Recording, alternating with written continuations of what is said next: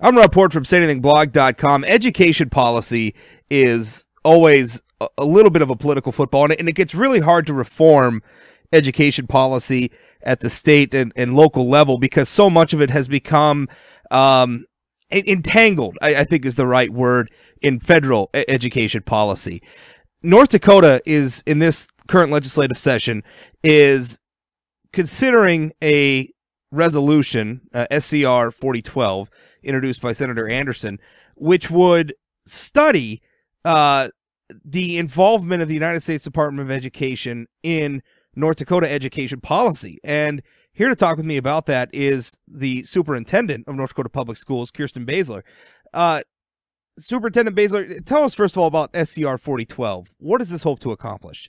Well, it is a study um, it, that will do exactly that. We're going to take a look to see exactly what kind of federal dollars we get, where we're getting the most of it, and um, what federal which federal programs can we opt out of. You know, that would be the first question. Which ones can we even opt out of without ensnaring, you know, our Department of Transportation dollars or our human service dollars? And then once we identify that, we have to ask ourselves the question, is it in our best interest to do so? Are we spending $2 to get one, or are we getting $2 and only having to spend one? So we'll have to analyze things like that. And, you know, to really ask ourselves the question, what would the cost be to do these things ourselves? Right now, we are receiving about $335 million per biennium of federal money. So um, would it be worth it for us? Could we afford to do these things ourselves? And might we be able to do them less expensively if we chose to do them in North Dakota? You were just elected to your office in the last election, but before that, you've had a you know a lengthy uh, career in in education. What are some of the challenges that you've seen uh, that that stem from this? That that stem from how involved federal policy is in in state and local education policy? It just has gotten more and more prescriptive over the years. I started in education over 20 years ago, and over that period of time, I just saw the federal government becoming more and more intrusive in, in how we tested, in, in what we tested, why we tested, and what the results of those tests were. I mean, it was before it was very it was very used very much primarily to drive our instruction and inform ourselves, you know, to be better better educators. Now it seems to have such punitive sanctions on it and reporting factors and um, the, the, the, the stick, if you will, versus the carrot. And I think something that has really brought a lot of attention to the the um, extent to this federal intrusion is when they began being very prescriptive with our school lunch program menus. And that really, once again, brought to light the amount of involvement that our federal government has in the day-to-day operations, uh, even down to the local cafeterias in our schools across North Dakota. I think it's hard for a lot of us to imagine how the federal government could effectively set something as as I, I want to say minuscule in terms of, of, of the overall policy that the federal government handles as what a kid in a local school district in North Dakota gets on his lunch tray. Uh, that seems to be micromanagement taken to an extreme. Other than other than than say school lunch policies what are some of the, you know encumbrances maybe perhaps for lack of a better term are, are you looking to, to, to, to clear off of north dakota's plate with this study? Or, or, are you sort of waiting to see uh, let the study guide the way I think we're going to let the study guide the way all across. That's what I'm hoping it will reveal to us. All across the state, when I was campaigning and traveling and visiting with people preparing for the election, I was often asked that question. Well, what? Why don't we just, you know, what would happen if we just, you know, told the federal government to keep their money and we were just going to do it our way? And I thought, I wonder what would happen. That's a very good question. Senator Anderson from the Turtle Lake area he got asked those same questions as he was running from his local constituents. And so we got together and said, you know, let's find out. Let's find out what the answer to that those questions are and see if it might be something that North Dakota might want to viably consider. Speaking of, of federal policy, uh, No Child Left Behind has been sort of a political hot potato for a while. I think a lot of us understood what the intent of that was, was to bring accountability to education. But again, I, I, think what we're having, what the problem with No Child Left Behind has been, is that it's a sort of one size fits all national policy in, in a country that's not one size fits all. That's in fact very diverse in terms of geography, society, culture, you know just about any anywhere you could point to. We're a very large and very diverse nation. Recently, uh, your office won. Uh, uh, the right to get a hearing on opting out of, of No Child Left Behind. Tell us a little bit more about that. Yes, we did. Um, the Department of Public Instruction, uh, state agencies across the nation were, had the opportunity to apply for a, a, flexibility waiver from no child from some of the sanctions of No Child Left Behind.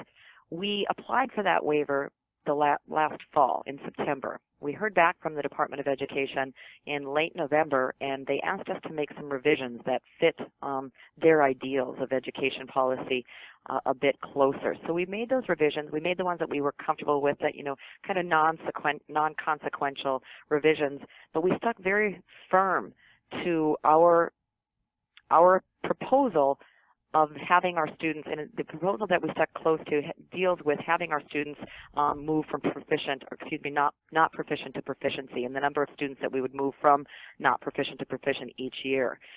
The Department of Ed had requested that we increase that rigor and increase that expectation, raise that bar, if you will.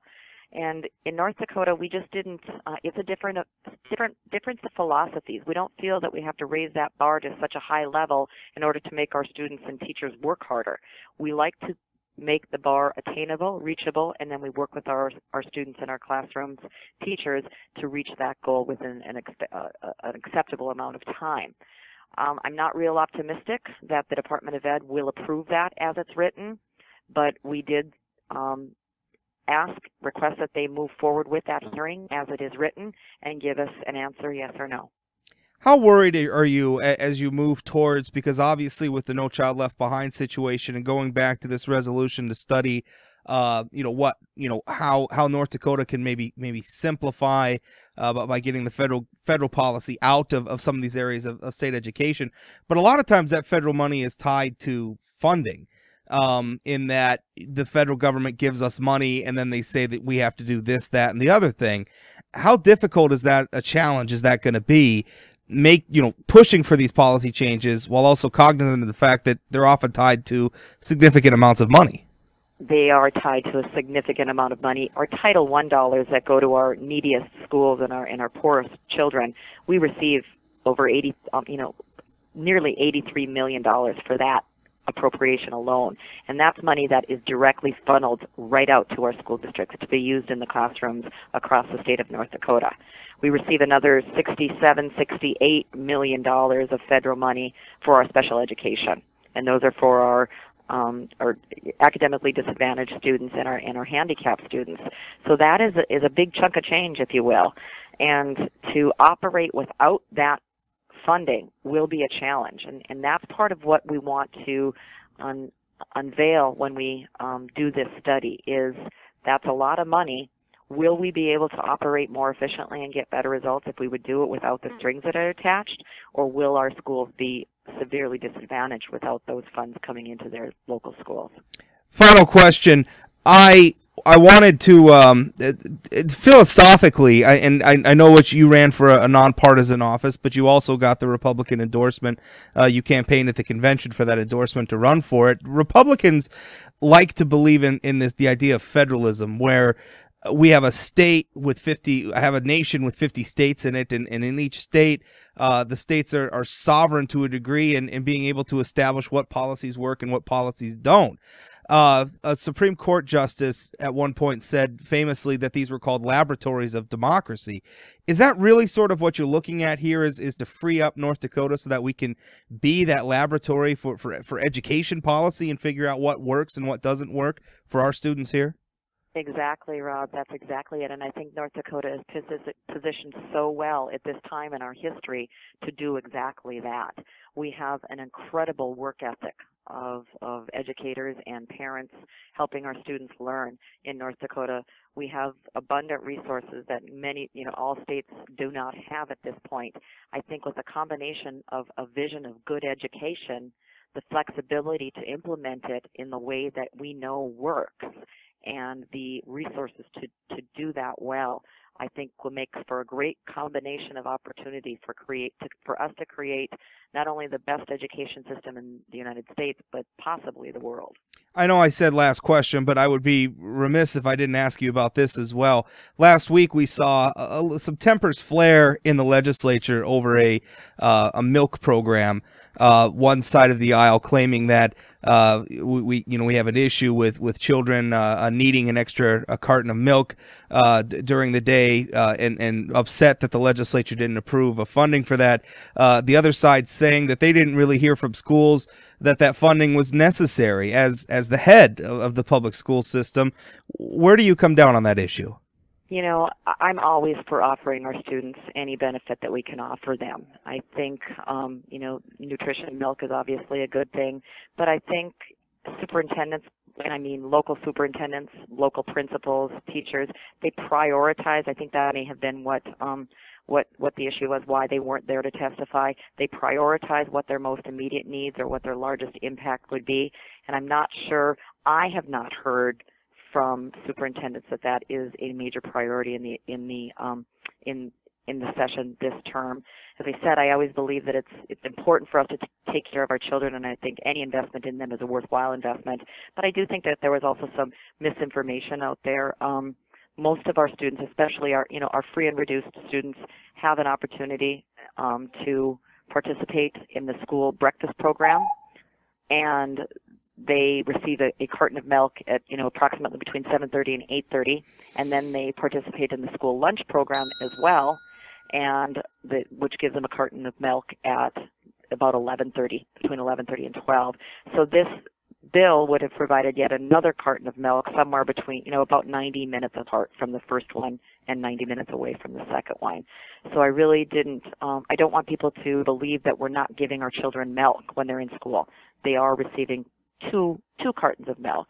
And you know, they're also I, I should tell you that um our our school lunch program are available in almost all of our K through um, three classrooms, and about eight, the school breakfast program is in about 85% of our schools, um, of our North Dakota schools, and 37% of our school lunches and 61% of our school breakfasts are served to our students that are eligible for free or reduced.